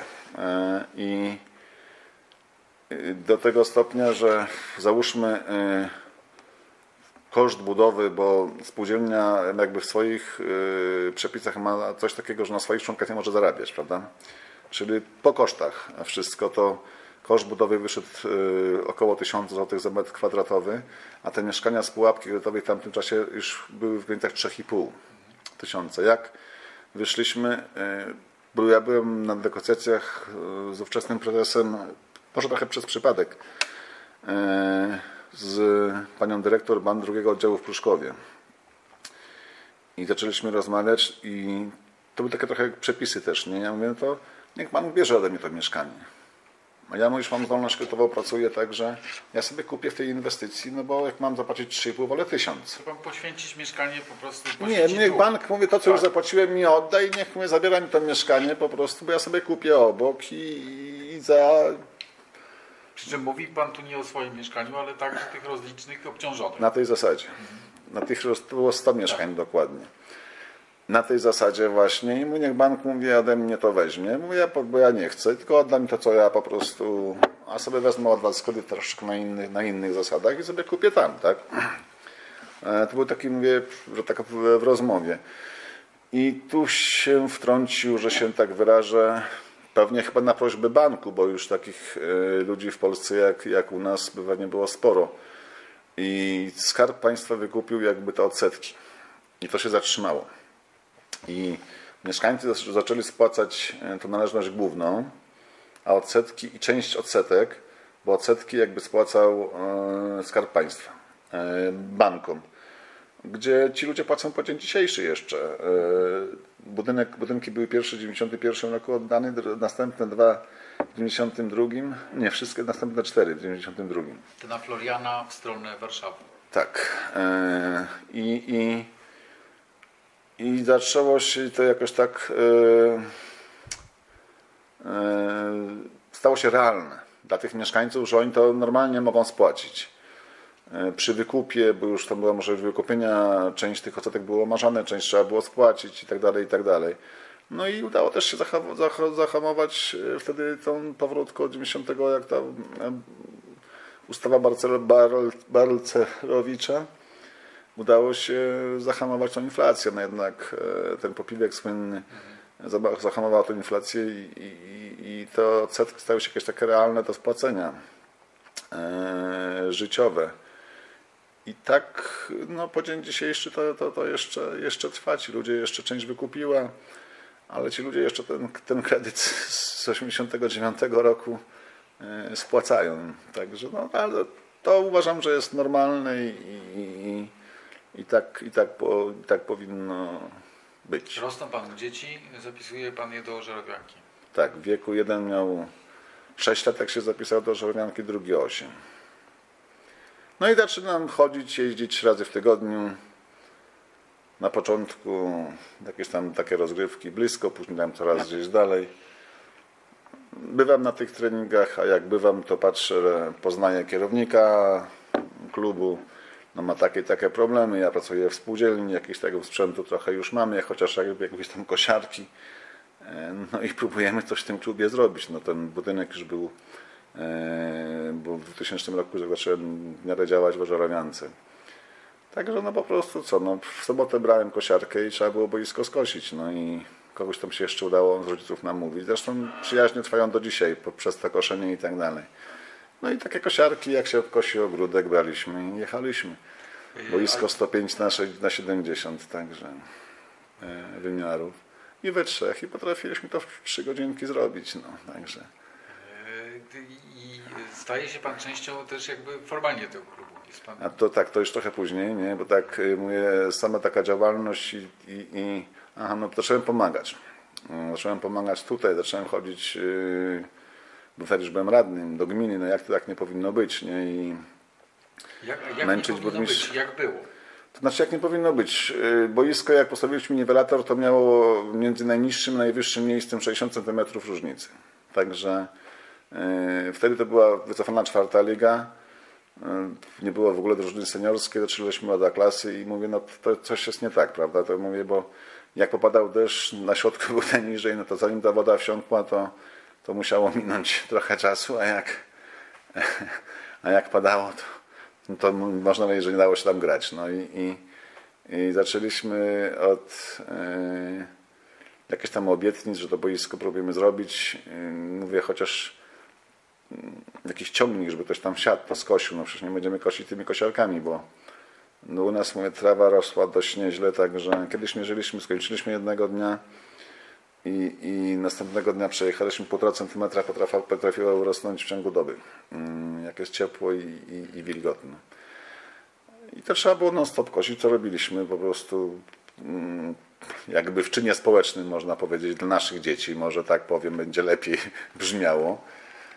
I jak tam zaczęliśmy się udzielać, zacząłem pomagać tak oni, no, władz klubu. No i po dwóch latach, pewnie w 2002 roku, zostałem członkiem e, zarządu Żarowianki. No jak zostałem członkiem zarządu Żarowianki, no to już to mnie troszeczkę mobilizowało, żeby jeszcze tam się bardziej udzielić i, i zrobić. No i udało mi się doprowadzić do tego, bo tak trochę sobie to dopisuję, ale, ale przy moim dużym udziale i nie do końca może przychylnym mojej osobie burmistrzowi, że zrobiliśmy taki kapitalny remont boiska, który jest do dzisiaj w 2005 roku, 11 lat i ono żyje. E, po jakiejś tam dużej walce, dyskusji już w gminie z urzędnikami, e, bo oni chcieli jakiegoś tam ogrodnika, że on przyjechał i trafiał się, a mówię, to nie tędy droga. I mówię, albo to robimy, albo czekamy jeszcze rok, odkładamy pieniądze, nie wiem, ale, ale e, nie tędy droga, tak się po prostu nie da, bo to mówię, nie ma sensu ta robota, bo za dwa lata będziemy znowu robić.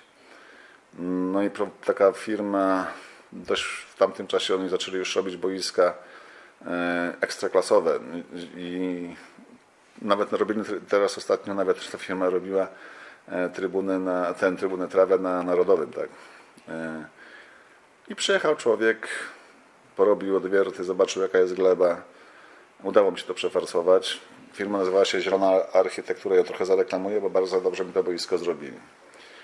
I mówi, trzeba to, to, to i tam. To ja mówię, panie Marku, pan jest fachowcem, to pan, mówię, mi to robi, to ma mi posłużyć, bo my mamy kawałek tylko z boku, mamy, tam wtedy mieliśmy 7 drużyn i mówię, no ja ich muszę raz w tygodniu wpuścić, czyli codziennie. To ma mi przetrwać. On mówi, dobre. I zwyczajnie zaczęli wozić żółty piach. Przychodzę, przytarłem oczy ze zdziwienia no żółty piach nie wożą i wysypują takie duże wywroty i tego chyba przyjechało, nie wiem, ze 24 tych wywrotek. No i tak jak od rolników glebogrzałka i tym sprzętem mieszali mi tą ziemię. A wcześniej jeszcze tam fajnie ustawiłem na rogach, bo to już rok 2005, czyli te urządzenia już były dość takie, mieliśmy już ten sprzęt też fajny. I na koparce z łyżką, jak to równa, miał na łyżce e, diody i musi się umieszczyć w zielonych. Jak mu wychodziło w czerwone, to już było nie tak. Porobili ładne spadki. Niewidoczne gołym okiem, ale woda spływa, nawodnienie i yy, no tamten czas było niezły, dzisiaj już trochę słabe. I ten piasek i mieszali, i mieszali, i mieszali, i mieszali, i mieszali. Jeździli ze wschodu na, na, na zachód, z północy na północ i po skosie i tak dalej. No i co? No wsiali tą trawę i ta trawa jest po dzień dzisiejszy. Jak to jej nie przysuszymy, to i to boisko żyje. I to boisko... Co się dzieje na boisku? Co się dzieje na boisku? Na boisku w tej chwili... E, no, dzisiaj co się działo i co się dzieje? Tak, na boisku, e, pomimo takiej eksploatacji, to ja naprawdę chylę czoła po dzień dzisiejszy. Dziękuję, że akurat ta firma, a nie inna robiła, bo zrobili mi to bardzo profesjonalnie i to boisko. W tamtym czasie było drużyn 7, czyli drużyna seniorska i 6 drużyn e, młodzieżowych. Dzisiaj mamy drużyn 13 dwie seniorskie i 11 młodzieżowych. I żeby zrobić trening, to trenerzy się między sobą kłócą, bo jeden drugiemu gdzieś tam wchodzi. Wiadomo, że inny trening, najmłodsze dzieci mają w tej chwili po 6 lat, które już tam coś grają. No, a seniorzy, no to pewnie najmłodszy ma 16, tak? A najstarszy 36. I jeden obok drugiego trening to jest zwyczajne niebezpieczeństwo, to można krzywdę dziecku zrobić. I trzeba to jakoś wszystko ułożyć, co też robiliśmy swego czasu, żeby oni tam się nie pozabijali. To dochodziło między innymi do scysji również i trenerów, bo ktoś któremuś tam wszedł, nie, ja miałem trening, a jestem ważniejszy od tego, bo ja gram tu, a ja gram tam, tak? Eee, boisko żyje, no tak eksploatowane boisko, jak nieraz mówię ludziom z innych klubów, bo też trochę się znamy, że w 2005 roku i w weekend się potrafi odbyć 8 meczy cztery w sobotę, cztery w niedzielę i że ono tak wygląda, to oni mi nie bardzo wierzą.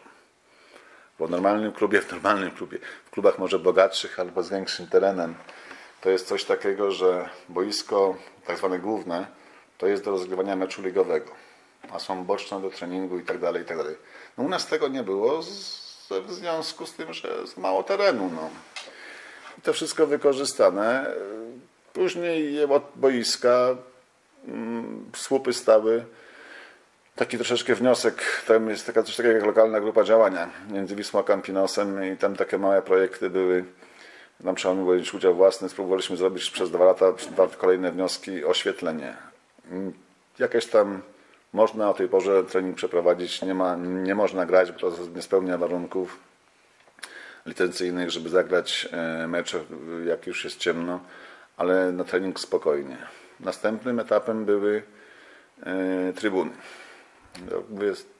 Coś trzeba tam zrobić, no i też e, jak mówię, że burmistrz trochę nie był mi przychylny, udało mi się przekonać Radę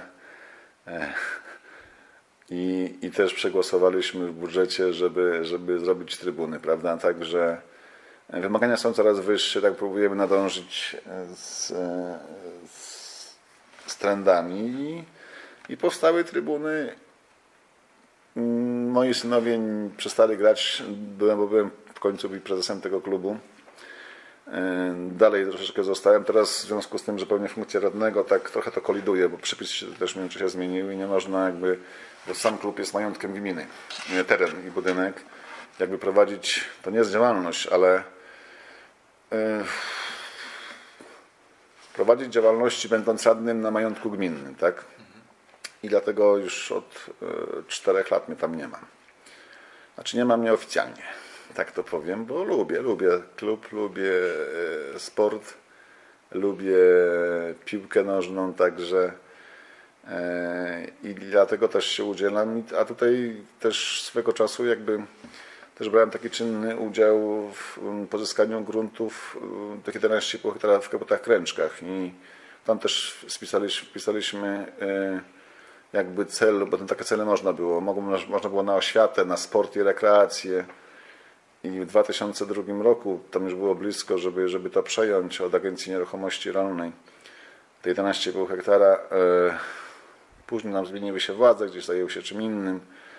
E, zmienił się i prezes Agencji Nieruchomości Rolnej, ale tam po prostu byliśmy natrętni, tak to określę, tak z dwoma kolegami jeszcze i byliśmy u prezesa Agencji Nieruchomości Rolnej, no może nie raz w miesiącu, ale raz na kwartał przez dwa lata i w końcu już e, uległ nam, gdzie już ten poprzedni, jego poprzednik już podpisał do przejęcia i w 2005 roku udało się to przejąć. Takie 10 lat karencji było, żeby gmina się mogła stać właścicielem tego, tego terenu, bo jesteśmy przy sporcie cały czas, tak? Tak.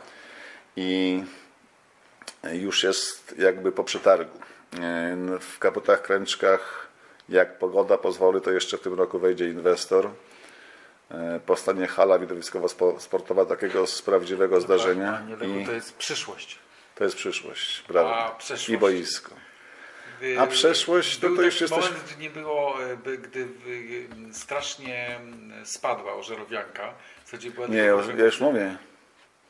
Ożerowianka, czwarta liga została rozwiązana bo przy kłopotach e, kabla, który tam e, może nie, nie płacił tym zawodnikom, ale ich zatrudnia, prawda, czyli zwalniał ich kiedy tylko było trzeba, e, to oni pościągali niejaki pan Saks, znany w środowisku sportowym, Leszek. On tam był od sędziów i nie od sędziów, dalszym, dalszym ciągu jest działaczem związkowym, będąc trenerem, on ściągał ludzi. Tu nas grał drugi Stomni Olsztyn, wtedy pierwszolegowa drużyna, druga Polonia Warszawa, wtedy pierwszolegowa drużyna i ci ludzie doszło do tego, że e, jeżeli nie będzie premii w kablu, to oni nie wychodzą na boisko. To są głosy zawodników. Głosy zawodników. E, wtedy grających w klubie sportowym Morzorowianka. Lata powiem, 90. czy? Już koniec, początek 90. lat. Mhm. Początek lat 90., może połowa. Nawet może połowa, bo chyba w 96 muszę sprawdzić chyba szóstym, ja tam z kablem, kabel kłopoty i, i tutaj oni kłopoty, no było ósmym. I, I co się dzieje? I co się dzieje? No i w rozmowach e, wtedy niejaki Robert Antoni Bieńko był prezesem, w takich rozmowach już, bo się już znaliśmy e, z Rady. Mówię, Robert, przecież mówię, nie ma sensu, żeby, żeby mówię, nami zawodnicy rządzili. Rozwiązujemy. I po prostu nie zgłosiliśmy do rozgrywek e, drużyny. No i sobie tam gdzieś poszły, tam gdzie, gdzie, gdzie chcieli i nie było przez pewnie jeden sezon w ogóle drużyny seniorskiej. Zaczęliśmy z juniorami z tym, że co mają do ciebie dzieci? Ta drużyna seniorska, jaka, w której ona klasie by nie była, to oni jakby, ich marzeniem, jak są tacy 6-7-letni, 8-letni, 10, zagrać w tej drużynie seniorskiej kiedyś, tak? I to zaczęło nam się bez tej drużyny seniorskiej tak, a nie ma seniorów i tak dalej. I na bazie juniorów, wtedy to był rocznik, na bazie rocznika 83, to oni wtedy mieli po lat pewnie, jak my to zruszyliśmy, 17, tam było za dwóch starszych, nie? Zgłosiliśmy drużyny, bo jak się wycofuje, to później przepisy związkowe są takie, że drużyna, zależy gdzie ona gra, nie? Ale w naszym przypadku to wylądowaliśmy w B-klasie, czyli najniższej e, lidze, e, na najniższych rozgrywkach. No i po pierwszym sezonie na bazie tych tak, fajnych chłopaków, tam było kilku, e, awansowaliśmy do A-klasy, później nie mogliśmy się chyba przez trzy sezony przebić do tej okręgówki ale nam się udało. Później graliśmy, ale to mówię, drużyna została wycofana i na bazie naszych wychowanków. Nie? E, Stworzyliśmy tą drużynę, tam no nie wiedzieli gdzie, gdzie zatrudniliśmy młodych ludzi, pojechaliśmy pod AWF z Robertem. I wzięliśmy ludzi z, z ostatniego roku. Z prezesem klubu Robertem E, Tak, Bieńko. Bieńko. Tak, pojechaliśmy e, pod AWF, no i zaczęliśmy rozmawiać, czy nie chcieliby chłopaki tam potrenować za jakieś niewielkie pieniądze młodzieży naszej. No i tak się złożyło, że Maciek Jówko jest nauczycielem WF-u i pracuje w klubie po dzień dzisiejszy. Adam Orlikowski to byli tacy trenerzy, którzy mieli już normalne podejście z przygotowaniem. I zaczęliśmy od rocznika tak normalnie prowadzenia rocznika 90 młodzieży. I 91, 92. No i prowadzili tak po latach, że graliśmy w tak zwanym makroregionie, czyli e, też e, te rozgrywki są podzielone na, na województwa, tak? tak? Czyli graliśmy w najwyższej klasie rozgrywkowej e, w województwie. No czyli mówię, Mława, Szydłowiec, no Legia to dost... Przez dwa sezony jakoś tam się udało nam utrzymać. Później część ludzi, wtedy już byli juniorami, e, przeszła do pierwszej drużyny. I, i ściągnęliśmy następnego człowieka, który też jest dzisiaj u nas, bo jak oni się już tam znali, są byli kolegi, ze studiów. I zaczęliśmy normalną pracę z młodzieżą i normalną, e, nawet nie jakoś tam z jakimiś tam sukcesami. Sukcesami. E, I, i, I tak to mówię, było z, z tą drużyną. No, część tych ludzi gra po dzień dzisiejszy, z rocznika 90, 91, 92. No. E, I tak można tyle tylko na, na, na temat tej najnowszej historii kl- klubu. Szykują się jakieś sukcesy? E, To znaczy dla nas, dla tego miasta 20-tysięcznego grania w czwartej lidze, to już chyba uważam, że jest nieźle. Nie? I też awansowaliśmy do tej czwartej ligi bez mała swoimi ludźmi, bo nie udało nam się bramkarza nigdy jakoś tam wychować, także e, no, ludzie od nas e, no, z rocznika 2000 grają w reprezentacji Polski, także e, juniorów. Niejaki Bartek Kukułowicz, także on jest mieszkańcem Ołtarzewa. Poszedł od nas do Pruszkowa, z Pruszkowa do, do Legii, jest reprezentantem Polski. U nas grał na pomocy, tam przekwalifikowali go na prawego obrońcę, ale bardzo fajny chłopak. No. E, Nasz zawodnik, który był bardzo krótko, gra w pierwszej lidze w tej chwili w Arce, niejaki Dariusz Zjawiński, także chłopak zresztą z Duchnic. E, Też bardzo szybko właśnie go, że się tak wyrażę, Legia, e, bo się wyróżnia po prostu, nie? Także no mamy ten problem, problem i nie problem, bo mm, bliskość tych takich klubów dużych, typu, typu Legia, Ursus już jest, jest dużym, gdzie są nabory do tak zwanej Legii. Jak ktoś się nie łapie, są kluby satelitarne. Z naszej strony jest Ursus. I ci młodzi ludzie idą do Ursusa w większości przypadków i później czasami nie chcą wracać, bo się wstydzą.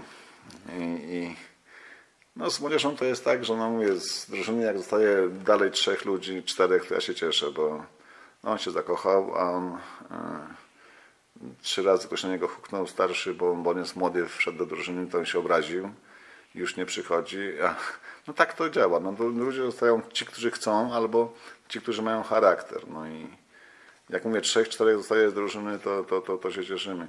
No, mieliśmy testowanych no, w tym roku, też testo, był testowany w pierwszej lidze Bartek Kwiatkowski, ale chyba niestety, ale nie udało mu się przebić. Rocznik 9-4. No także no, uważam, że coś się dzieje. Przede wszystkim uważam, że jeżeli mamy w granicach 180 ludzi, bo tylu mamy w tej chwili, teraz mamy pewnie więcej, bo trochę straciłem orientację, ale za moich czasów e, w klubie młodych, to oni nie są na ulicach, na przystankach, w parkach, po klatkach schodowych czy, czy gdzieś, także są zagospodarowani, oni są wybiegani, on już nie, ma, już nie, nie musi się wyżywać na jakiejś tam martwej naturze. I to uważam, że czy on będzie kiedyś tam grał, czy nie, bo tak jak powiedziałem, mówię, 3-4, jeżeli się przebija, to już ja uważam, że jest fajnie.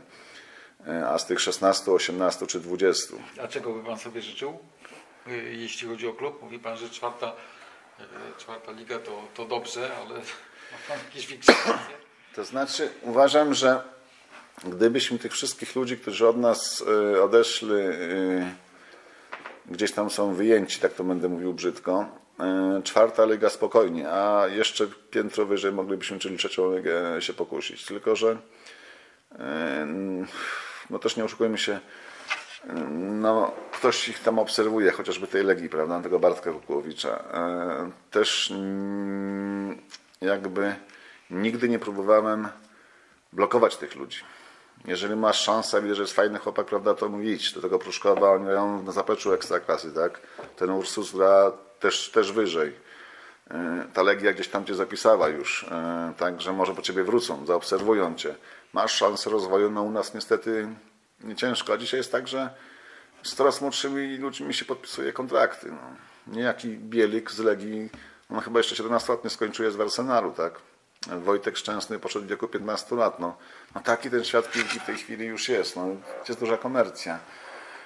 A tutaj, no mówię, ja myślę, że stworzymy jeszcze warunki, Ożarów się rozwija i, i, i, i te inwestycje, które, które tam się, już tam, Kręczki kaputy. kręczki kaputy, to myślę, że jeszcze w tej trzeciej lidze zagramy swoimi ludźmi, bo, bo tu można byłoby znaleźć jakiegoś tam sponsora i kupić ludzi, tylko że Szukaliście znaczy, nie, no chociażby bramkarza tam musieliśmy znaleźć, prawda? No, a jest, sponsora? e, sponsora, Dolkan, Ząbki.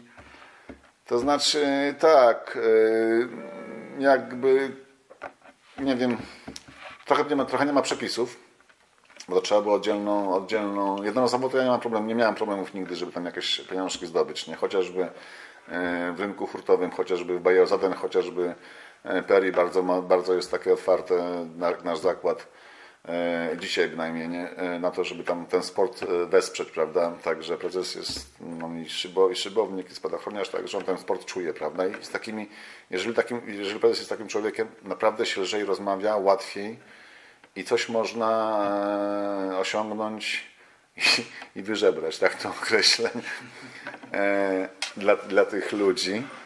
A żeby ktoś tak się zwią- związał e, na stałe, mm, są jakieś tam rozmowy, ja bynajmniej jeszcze, teraz rozmawiam, ale, ale zobaczymy. No. Nie chciałbym na razie nic mówić. E, Ale mówię, rozwijamy się tutaj troszeczkę, spróbujemy też może zrobić, bo też jest e, UKS Ołtarzew, także myślę, że tak małym mieście dwa kluby piłkarskie to trochę za dużo w moim odczuciu, ale myślę, że się kiedyś tam dogadamy i tak jak powstał klub z fuzji dwóch klubów, bo przy Hucie była Unia, obecna Orzewianka, Unia Ożarów, a przy kablu była Stal. Stal. No i oni się połączyli, powstała żoleganka, żeby nie przychodzić na którąś ze stron, to tak wymyślili i, tak jest po dzień dzisiejszy. No.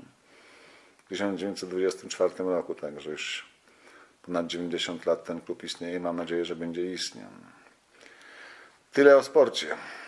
Coś. ym, Zastanawiam się, czy coś jeszcze takiego, co pan jakby uważa, że jest warte nadmienienia w, w Ożerowie, jakiegoś wspomnienia. Sport, moja spółdzielnia, w której pracuję i jestem z nią związany. Z pańskiej strony. E, Z mojej strony, e, z takich ciekawszych rzeczy. No jakoś nie przychodzi mi na, tak na, na gorąco. samorząd, spółdzielnia, tak, tak też pana jakby tak, tak też pana postrzegam. Samorząd, spółdzielnia i sport. I sport, tak. Tak, to mają takie domeny, także e, spółdzielnia praca, a też jestem, tak mówię, przez te lata naprawdę jestem tak e, dość mocno się zaangażowałem od samego początku, a że już jakieś tam zboczenie zawodowe. Są budynki, że ja potrafię wymienić wszystkich mieszkańców, gdzie kto mieszka, także jak się niewiele nie zmieniło, bo też się zmienia, także A właśnie też y, jakby sam skład społeczny. Dużo ludzi się teraz. Wyprowadziło, dużo ludzi się wprowadziło jakby w spółdzielni. E, Zastój był pewnie do 2008 roku, jak pracuję. Dopiero zaczęło się ruszać, naprawdę był, był zastój, niewiele się działo w ogóle, że ktoś tam sprzedawał mieszkania prawda, w spółdzielni. A, a był taki moment 2008-2010, że sporo takiego ruchu było, e, bo i ceny były, było dużo sporo chętnych i niezłe ci nabywcy e, niezłe ceny proponowali za zakup tych, e, tych mieszkań. To był 2008-2010, później coś to się zatrzymało, bo jakby przestali sprzedawać, bo ten mm, popyt był na te mieszkania jakby zmalał, a ceny się próbowały utrzymać, także one się jeszcze nie odbudowały, ale do 2014 roku praktycznie się też nic nie działo. Naprawdę był niewielki ruch. I teraz znowu coś zaczyna się dziać od dwóch lat mniej więcej. Jakiś tam Ale ruch jest. wymienia się. Wymienia się, wymienia się. E, Procentowo Wymienia się, e, na przykład Tomowic, nie wiem na jakiej zasadzie, ale e, w tych najstarszych budynkach społeczeństwo nam się zwyczajnie postarzało, prawda? No i wiadomo, e, były różne momenty, u nas jest 90 i dziś w tej chwili 5% mieszkań własnościowych, no i co się robi? Zapisuje się wnukowi mm, mieszkanie, nie? A wnuk czeka, mówię, przykro mi o tym mówić, jak e, dziadek czy babcia zejdzie i to sprzedaje, bo ma gdzie mieszkać. I dlatego jest ten ruch też, nie? I pod tym kątem zaczyna się zmieniać e, przez to takie, no, dziwne, znaczy dziwne, przez to powstają też jakieś konflikty, nie? Bo no, ktoś ma lat 80, ktoś 25, no i ktoś lubi sobie wrócić o godzinie pierwszej, bo jeszcze ma siłę, a ktoś chce pospać. No, Pan i, jest tego y, takim mimowolnym świadkiem jako E, No niestety, najciekawsze są, najtrudniejsze są konflikty e, jakby sąsiedzkie. One na to, na to nie ma rozwiązania. Bo to no nie jest tak, że, że jest dobre wyjście. Gdzieś się człowiek komuś tam narazi, także. Ale no, no mówię, są jakieś tam śmieszne sytuacje, także. To jest mój jeszcze czynnik ludzki, także mm, są ludzie bardzo uparci, zawzięci. Jak ktoś, ktoś komuś lat temu 20, to pamięta jeszcze do dzień, po dzień dzisiejszy. Także i tam nie będzie zgody. I chociażbym nie wiem, co chciał zrobić, to, to nie dam rady, no bo, bo nie dam rady. Z takich, Pan ma y, nawet takie ambicje y, rozjemcy, jak widzę. To znaczy, wam co, e, ludzi trzeba wysłuchać, prawda? E, I też powiedzieć im szczerze, że słuchaj, człowieka ci nie pomogę. E, też potrafię zrozumieć. E, najgorzej jest obiecywać i, i, i, i, nic z tym nie robić. Bo tu to ludzi denerwuje i pamiętają. Nie no, Niemcy też, no, no po prostu z racji pracy, no musi tak być. No przychodzi pani i mówi taki, z takich ciekawszych, może śmiesznych rzeczy. No nie żyje już w tej chwili, ale mówi, no tak mnie naświetlają, mówi, że głowa mnie boli, pęka i przychodzi do mnie jeden dzień, drugi dzień, a przy okazji mnie zgłosiło jakoś tam e, problem elektryczny. Zachodzę z elektrykiem, bo tam mnie poprawił czy przycisk, już pamiętam co. I ona mówi, znowu mnie naświetlają, mówię, kto? No ona nie potrafi wiedzieć kto, nie? Trendy. Ona pokazuje na tego Judasza, czyli ten wizjer, tak? A on wyjął taśmę izolacyjną, zakleił jej. No i tam poprawiliśmy, poszliśmy. Pani przychodzi następnego dnia, mówi, wie pan co, mówi, jak rękę odjął. Takie przypadki są, to jest samo życie, także no i jest moment, że tym ludziom nie można pomóc, a nieraz taka rzecz, no ja o tym nie pomyślałem. No dobra, zakleimy i zakleił i przeszło wszystko. Prosta sprawa. No ja mówię, powinienem to robić 4 dni temu albo, albo tydzień, tak? Ale nie wpadłem na to, no zakleił i już, już w porządku. No także to są takie sytuacje, no tak, no jak się pracuje z ludźmi, no to tak, to są naprawdę różne, może niepotrzebnie to mówię, ale... Zgodzi się Pan na zdjęcie A, e, okej. przy klubie w e, trzy- 15, 16, 17. E, 15, 16, 17. Na pewno chyba już nie 17 z tego co pamiętam.